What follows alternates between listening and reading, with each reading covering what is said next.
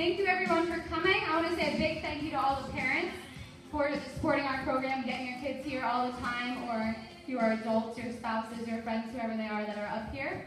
Um, and I also want to thank Peggy Hagan, who wishes she could be here, our CEO and executive director. She was sick today. Um, but I want to thank her and Jane, our associate executive director, for all of their guidance and support of our dance program and really making the connection the amazing place it is.